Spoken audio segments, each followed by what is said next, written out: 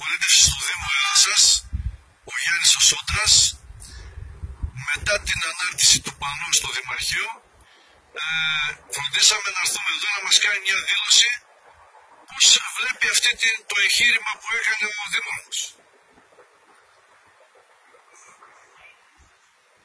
Η προσωπικότητα του Δημάρχου είναι συγκεκριμένη και νομίζω ότι είναι γνωστή σε όλους μας. Η παρόρμηση και ο έντονος λαϊκισμός είναι αυτό που το χαρακτηρίζουν.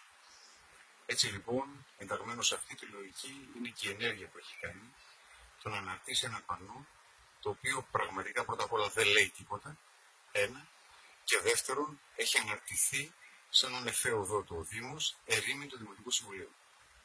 Δεν είναι δυνατόν να γίνονται τέτοιες ενέργειες από έναν Δήμαρχο στο σπίτι του λαού της πόλης χωρίς τη συνένεση του Δημοτικού Συμβουλίου. Ανεξάρτητα από το περιεχόμενο και την ουσία και τα κίνητρα τα οποία είχε, όφιλε και είχε χρέος πριν από μια τέτοια ενέργεια να απευθυνθεί στο Δημοτικό Συμβουλίο. Εκεί να συζητούσαμε, να αποφασίζαμε και να ενεργούσαμε ανάλογα. Τώρα ουσιαστικά είναι εκτεθειμένος και στην κοινωνία αλλά και σε μια πράξη εναντίον του Δημοτικού Συμβουλίου και προσβάλλει εδώ την, ε, την υπόσταση του Δημοτικού Συμβουλίου.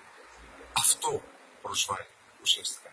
Ακυρώνει τους εκπροσώπους ε, του λαού της πόλης και του Δήμου. Μήπως έχει ε, καταλάβει ότι επειδή είναι ο άρχοντας νομίζει ό,τι μπορεί και θέλει να κάνει σε αυτή την πόλη ή και έστω και στο Δημαρχείο με αυτό το εγχείρημα όπως προείπατε. Με τα ψυχολογικά ζητήματα του κ. Γιάννου δεν θα ασχοληθώ. Αυτό που με ενδιαφέρει είναι η εύρυθμη λειτουργία και ομαλή λειτουργία του Δήμου και των θεσμών. Γι' αυτό ακριβώς μιλάω ότι όφιλε να βοηθήσει το Δημοτικό Συμβούλιο και να έχει την απόφαση και τη γνώμη του Δημοτικού Συμβουλίου. Αυτές οι ενέργειες είναι ενέργειες οι οποίες θυμίζουν άλλες καταστάσεις.